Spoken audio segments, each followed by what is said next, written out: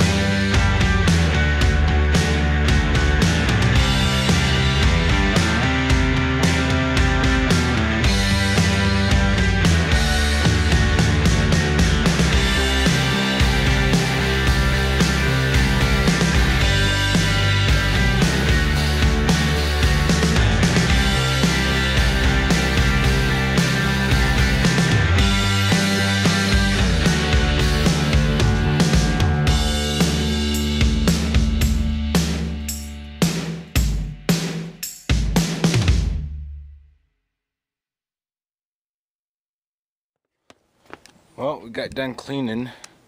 For the most part, wiping it off because of the damn coons. Stepped on it and... Or cats or whatever, I don't even know. They're not the biggest paws in the world, but they... I don't know. Made me mad. Let's just say that. Brand new tractor. Less than a couple hours old and it already had animals rock, walking up on top of it. but hey, what can I do? I can't be out here 24-7 watching it, watching the 6150. But oh well, now that's resolved. I don't know what to do now. We were supposed to pick up sticks. My brother right now here. He's gonna get a kick in the butt. Well, I'll show you something. I've never tried it out before. I want to try it out. So yeah, what you do is I'm gonna try out that back three-point thing because it sounds kind of cool. Okay, so what you gotta do is turn the tractor on.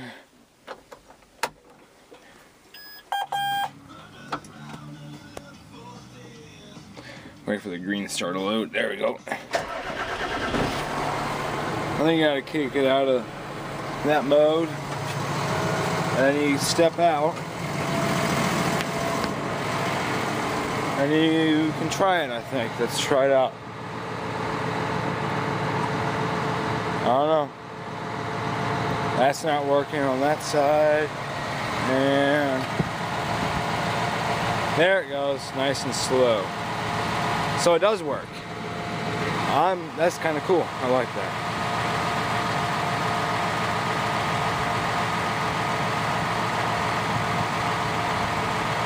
Put it back up. Nice and slow.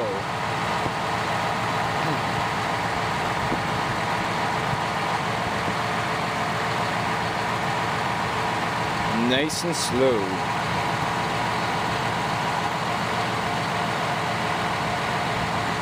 Turning out a hydraulic fluid, as you can see right there.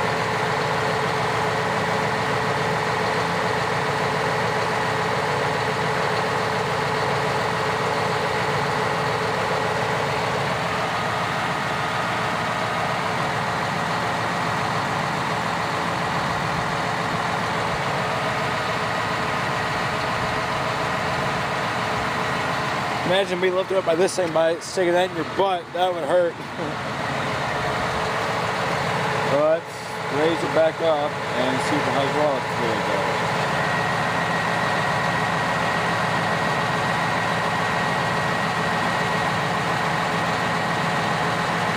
There goes the yuppies I just rode by.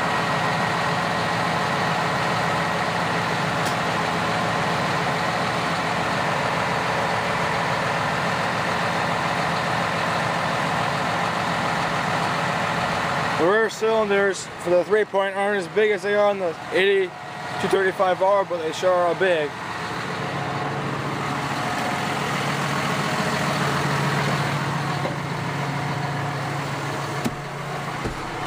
Well, let's raise it up all the way and lock it into place. Sounds pretty darn good, I think.